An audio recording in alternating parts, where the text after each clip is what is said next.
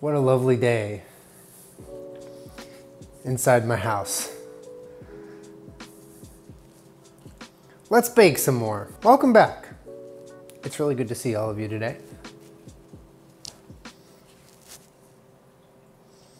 We had this idea recently to try to make pretzel bites and we were actually gonna make them over the weekend. And I was like, I was ready because pretzel bites to me seem like a real weekend food. And since we're all stuck at home and every single day and night is blending together into this amorphous, confusing blob of life that we're all living, might as well be a weekend right now. I don't know. I mean, it's it's a weekend today and tomorrow it'll be a weekend and in a couple days it'll be a weekend and if whatever day you're watching this happy weekend because it's friday it's 35 p.m welcome to my lesson on time space and calendars. I'm losing it. My glasses are dirty but i'm not going to clean them uh, because i have more important things to do. What are those more important things? Well use some of this yeast. Yeast. We recently bought this. It came very, very long after we purchased it, but that's, you know, we're just happy we got some yeast because not having yeast right now is, is pretty devastating, honestly, because all I, I want to do, like the rest of you, is fucking bake. So we got our hands on some yeast. I, I just said, you know what, let's make this pretzel bites adventure into a video. Let's, I want to bring you along with me. Okay, so you can try it over the internet and you can watch me eat it and you watch me struggle and create a big old mess because not judging, but that seems to be your thing. You like watching me make a mess. So here we are again. I mean, I, I don't know why else you'd be here. So we will be needing a lot of things. I'll link the recipe as usual, but just to name a few, you're gonna need some white rice flour, all-purpose flour, baking soda, baking powder, salt, olive oil, I'm done naming things. Okay, I got tired of it. So if you want to know all the ingredients, you can look into the description where I put the recipe, but we'll also be making our very own nacho cheese sauce. Nacho. For real, we're gonna be using cashews and nooch, as well as some jalapeno and jalapeno brine and salt and pepper. We're gonna make that in the Vitamix. That should be kind of later on. But the first step we have to get going right now is activate the yeast, okay? We need to push the button and activate the yeast. So let us grab a bowl, take a last sip of coffee, listen to the pitter patter of dogs run across the whole entire house, and let's get started. All right, we're gonna cut open our packet of yeast. This is like a solid brick, dude. Oh, it's vacuum sealed, that's why. Okay, not anymore, it's not. So we're gonna take two and a fourth tablespoon of our quick acting yeast. So, sorry, teaspoon. There's a difference there. Okay, we'll do one, two, and a fourth. Easy. And now we're gonna take one and a fourth a cup of water. This is actually perfectly warm. I heated this a little while ago and now it's nice. We're gonna place the warm water with the yeast. That's one cup. And here's a fourth. We'll do a quick little whisk here just to get it all kind of loosened up and mixed around. And we are gonna now let this sit for five minutes. So set this aside. And while that is doing its thing, let's get our stand mixer, Senor Big Red. And we are gonna take all of our dry ingredients, I believe. Yeah, all of our dry ingredients, except for our baking soda. This is our baking soda. We're gonna use this for our water bath, which is how we're gonna I guess, boil the pretzels. Let's take all of our dry ingredients and toss it in the bowl. So we got some flour, we got some potato starch, tapioca starch, some xanthan gum. All right, so we want this to get all completely mixed together um, so that when the yeast is done chilling, which I haven't put a timer on it, but I think we're about three minutes in, uh, we're gonna add this into the dry mix as well as our olive oil. Okay, this looks nice and mixed. All right, so uh, it is now time to add our apple cider vinegar as well as our olive oil into our stand mixer to complete the wet and the dry as well as our yeast. But before we do that, I'm gonna combine apple cider vinegar with olive oil just because it's gross. Look how weird that looks. It's just like floating. It kind of just looks like an egg actually. it's just kind of weird. I'm glad I did this experiment for science.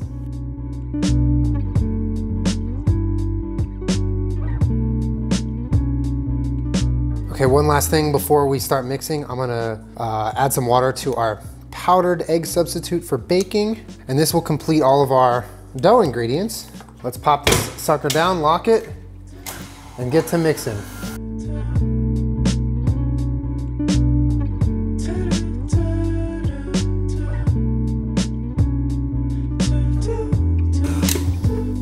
Okay, well, that was uh, that was something. Now we're gonna get our hands nice and doughy, uh, but we're gonna first clear off all the dough that's stuck, and we're gonna thank Big Red for his service. Thank you, Big Red, for your service. And over here we have a bowl coated with olive oil spray because we are actually now out of olive oil. You want some pretzel bites? So bad, bitch. Oh shit! Look at this dough, bitch. Oh. This is actually really nice looking ball of dough here. It's all staying together. It's a good day. Everything's gonna work fine. I'm so excited, dude. All right, so we're gonna take our ball of dough and make it into as much of a ball, cohesive, not breaking apart ball as we can. That part is definitely necessary, do that. And then we're gonna place it in our olive oil coated bowl. This is our pretzel dough. Uh, it also says to coat the top in olive oil. We are out of olive oil, so here comes the spray, which is not technically olive oil, some other chemical that we'll be consuming. I don't know if we cover this or not. Jenna, do we cover the dough? Yeah, I don't know if we're gonna break a rule here or not, but I think we should cover this. All right, so nothing airtight or anything, but we're gonna take our kitchen cloth and just put this on top, and it says, keep in a warm place for an hour. Now it is time to wait. We wait. Yeah, it's waiting time. In one hour, we'll be back here to remove this sort of clean kitchen cloth and uh, get moving on the rest of our pretzel recipe. I'll see you in an hour. All right, it is now time to turn these things into pretzel bites. I'm already hungry. I've, this has been a long hour of waiting. I really wish we didn't have to wait, but sometimes you gotta wait for things. It's grown in size a good amount. I wouldn't say like an insane amount. It's not like doubled in size, and I know it's supposed to get a lot bigger, but we waited an hour and uh, this is how big it is. So it's definitely bigger than it was.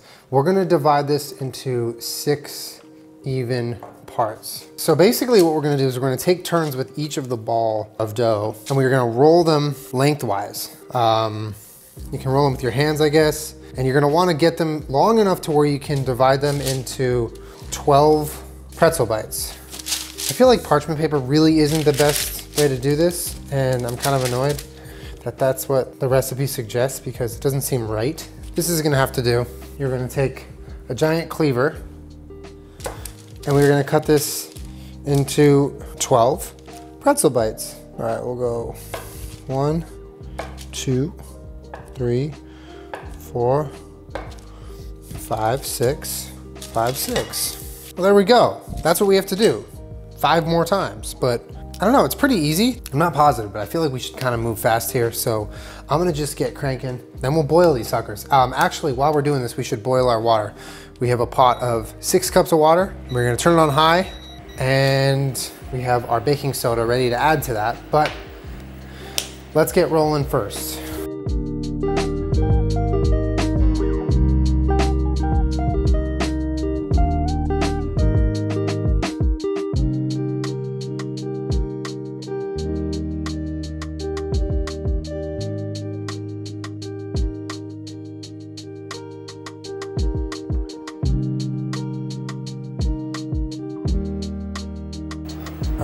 We are gonna add our baking soda to the water. By the way, we also wanna have our oven preheated to uh, 450 because we are going to boil them and once they are boiled, we're gonna put them on our parchment pan and then we're gonna bake them for like 15 minutes. So, but it's gonna be worth it because we're gonna have some fucking pretzel bites, dog. Look at these things. They look so good. They look fluffy and pretzely and bitey. So we're actually just waiting, boil. We're actually just waiting for this to boil. I don't know why it is not boiled, but we must have patience. Rule number like one or two, I forget. Don't worry about it actually. Let's just do it now. Uh, another thing that we're out of because things are impossible to get is butter or olive oil as you saw.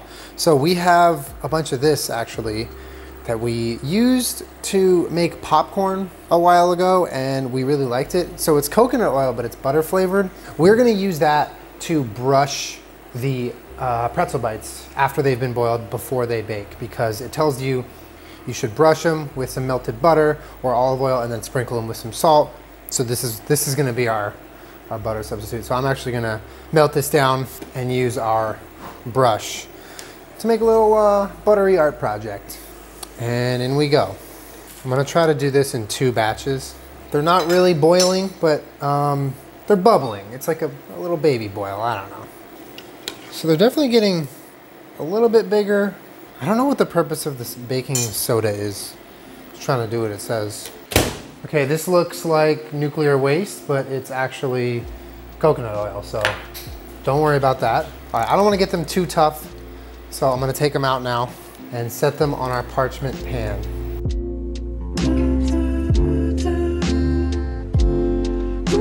Uh, when you put the pretzel bites down on the parchment paper, you're gonna wanna have them be spaced out a little bit. Why do they need to be spaced out? Well, number one, so that they don't cook on top of each other and potentially like melt together in the oven. And number two, these pretzel bites also should be social distancing, okay? So let's be responsible here. All right, so we're gonna put the last of our, that was bad, pretzel bites in the boiling water. Do it really fast and spastically. We are now gonna take our butter and start brushing our pretzel bites. Use however much butter you feel like here. I'm not gonna go super crazy because this is coconut oil after all and I don't want it to give too much of a coconut flavor on these, but I think this is just to keep them like browned and nice and savory.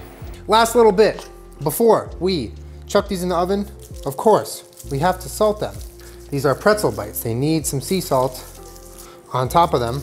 Now we bake. So I think like 15 minutes. This is what the pretzel bites look like before we've tossed them in the oven.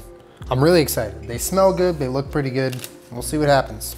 Now we're gonna do some science, y'all. We need a nacho cheese sauce to go with our pretzel bites because why would you even make pretzel bites if you don't have something to dip them in? So we're gonna put some cashews, some oat milk, just a heaping bit of nooch, good amount of salt, and since we are making nacho cheese, jalapenos, and a little bit of brine as well. I'm gonna turn this into cheese with magic. This is almost nacho cheese yellow. It's pretty yellow, but it tastes fantastic. Now, I want you to get excited. Not, oh, you are excited. Uh, not quite pretzel day level of excited, but like almost there. I will allow you now to take a moment to get psyched up, okay? Give yourself a nice little pep talk in the mirror. Get ready to go because these pretzel bites, they come.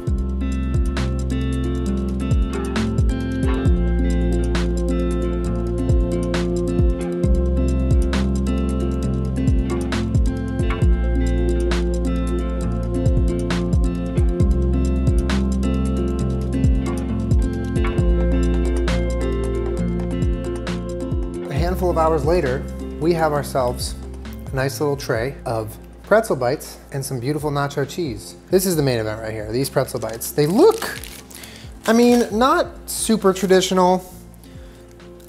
They are good. Hello there. Baby! Do you like it? Uh huh. It literally tastes like pretzels. They look, I mean, I was actually supposed to put like a little indent in them, but some of them actually kind of just got it naturally because they were like starting to fall apart. They do not taste gluten free. Really? Really, really good. Okay, that's all I want to eat. Really? Uh huh. I'm glad you like them. I'm not underwhelmed by them. I just like, I didn't know if I hit it or not. I'm very happy. Yeah? Those are so good. You could sell that at a restaurant. Really? Mm-hmm. You want an up close shot? Mmm. Bitch. I'm glad you like it. I could can- eat a thousand of them.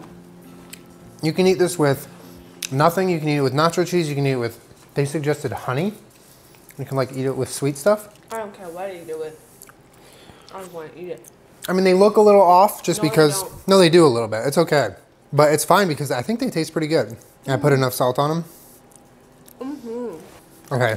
Well, Jenna's happy. I'm hot. I've been baking for Why are you like three me? hours. She kissed me. she kicked you? Yeah. You owe her money and you're gonna kick her? You're fine. You're a bully. No kicking mommy. Oh, this is so good. Okay.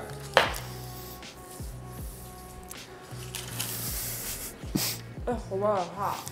Uh, well, I think that's a that's a sign that we did something right. She liked it and she wanted to take some to go. So here are our pretzel bites. I don't know.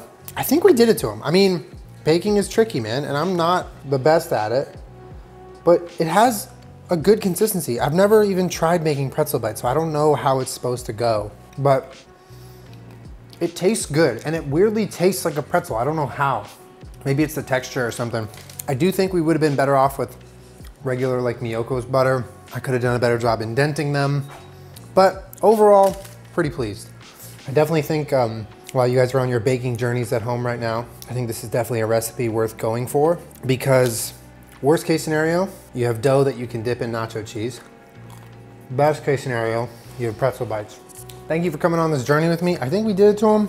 We have pretzel bites now and they're probably gonna be gone by the evening. So we have some work to do, and so do you. Get cooking, these are really good. Definitely recommend it. That's, that's it, that's it, that's all. That is literally all. Hi Kermit. You know, your sister, she steals money, so she doesn't get a pretzel bite, but you, you my friend, get to watch me eat one. I'm just kidding, you can have one. Okay, now off, the, now off, okay. We gotta clean everything. Pretzel bites, yay!